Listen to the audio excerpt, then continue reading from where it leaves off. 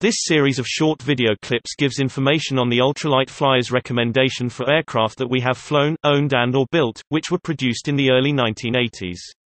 All of these aircraft still have manufacturers producing parts, for their repair and continued airworthiness.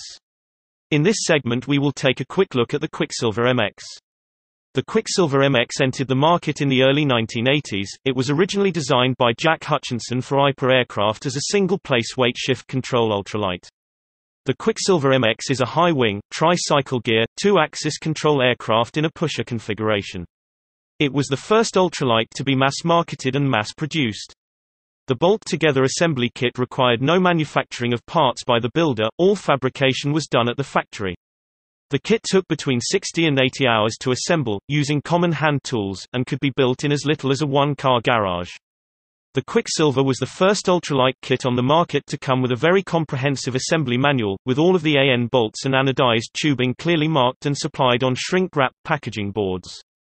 Originally power was supplied by the Cuyuna 440 engine but this power plant was later updated to the Rotax 377 and then Rotax 447 engine.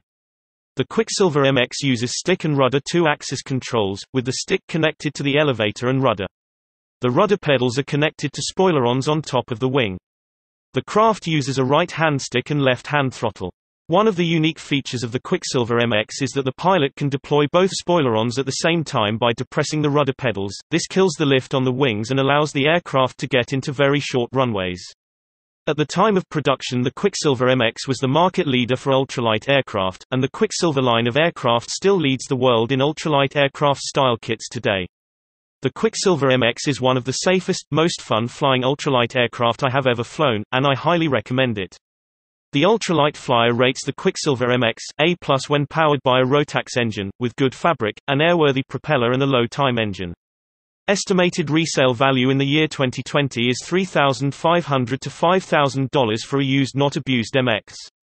If considering purchasing a used Quicksilver MX it is the ultralight flyer's recommendation that the plane's fabric be tested and the wires, landing gear and reduction drive be thoroughly inspected. For a troubleshooting report on the MX, visit www.ultralightnews.com. If the history of the engine is unknown it is recommended that the exhaust be removed and the pistons inspected for wear and seizure.